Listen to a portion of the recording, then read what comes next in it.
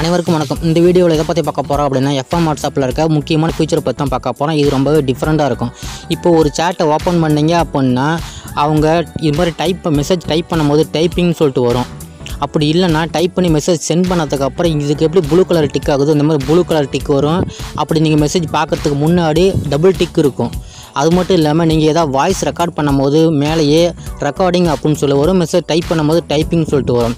இந்த மாதிரி எதுவுமே வரக்கூடாது. மற்றவங்களுக்கு வரக்கூடாது அப்படின்னா ரைட் சைடில் த்ரீ டாட் பட்டனை கிளிக் பண்ணிக்கோங்க. அதில் எஃப்எம் மோட்ஸை கிளிக் பண்ணிக்கோங்க.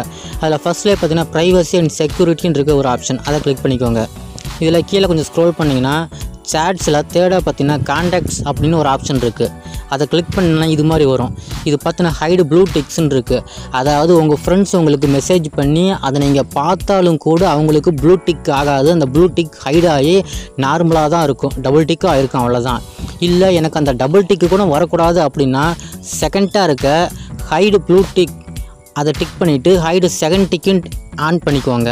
அப்போது உங்கள் ஃப்ரெண்ட்ஸ் உங்களுக்கு மெசேஜ் பண்ணதுக்கப்புறம் நீங்கள் அந்த மெசேஜை ஓப்பன் பண்ணி பார்த்து அந்த மெசேஜை ரிப்ளைவே பண்ணால் கூட பட் அவங்க அவங்களுக்கு சிங்கிள் டிக் மட்டும்தான் காட்டும். அதே மாதிரி தான் ப்ளூ மைக்ரோஃபோன் அவங்க உங்களுக்கு மெசேஜ் பண்ணி அதாவது வாய்ஸ் மெசேஜ் பண்ணி அதை நீங்கள் பார்த்தாலுமே அவங்களுக்கு ப்ளூ கலர் டிக்கு ஆகாது. நார்மலாக தான் இருக்கும். அதேமாரி கீழே பார்த்தீங்கன்னா ஹை டைப்பிங்னு இருக்குது நீங்கள் அவங்களுக்கு சேட் பண்ணும் போதோ மெசேஜ் பண்ணும் போதோ அவங்களுக்கு பார்த்தீங்கன்னா நீங்கள் டைப் பண்ணுற மாதிரி காட்டாமல் எம்டியாக தான் காட்டும். அதே மாதிரி தான் ரெக்கார்டிங்க்கும் இந்த ஆப்ஷன் எல்லாம் தேவைப்பட்டால் எனபிள் பண்ணி வச்சுக்கோங்க. இது ரொம்ப சூப்பராக மாசாக இருக்கும். ரொம்ப ட்ரிக்ஸாகவும் இருக்கும். ஓகே ஃப்ரெண்ட்ஸ் இந்த வீடியோ பிடிச்சிருந்தா லைக் பண்ணுங்கள் இது சம்மந்தமாக டவுட் இருந்தால் கமெண்ட் பண்ணுங்கள் இந்த மாதிரி வீடியோ நம்ம சேனலில் அடிக்கடி வரும். மறக்காமல் சப்ஸ்கிரைப் பண்ணுங்கள் தேங்க்யூ